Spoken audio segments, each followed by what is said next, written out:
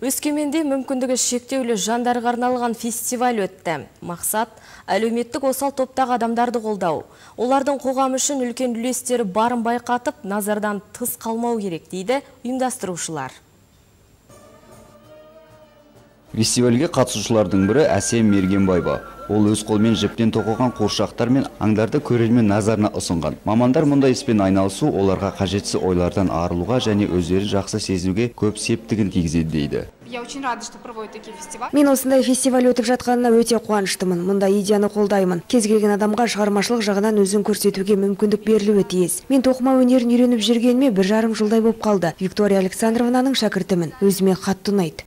Тағдыр сынағына мойымаған жандар бақытты өмір кілті өз қолдарында екендігін жақсы біледі. Мүмкіндігі шектеулі аталғанымен берілген мүмкіндіктер шексіз екенін айтып, қоғамдағы ешбір азаматтан кем емеспіз дейді. Оған шығармашылық саладағы табыстар мен спортта жеткен жетістіктері дәлел. Мен осындай жандарды қолдау бағытында жұмыс істейтін студияның жетекшісімін. Біз осы керемет фестиваль туралы білдік және біздің шеберлеріміз оған қатысуға ниет білдірді. Біз өз дарынымыздың керемет туындысын осында алып келдік. Ол екінші топтағы мүгедек. Өкінішке орай денсаулығына байланысты өзі келе алмады. Ол бисермен айналысады және ағаштан керемет бұйымдар жасайды.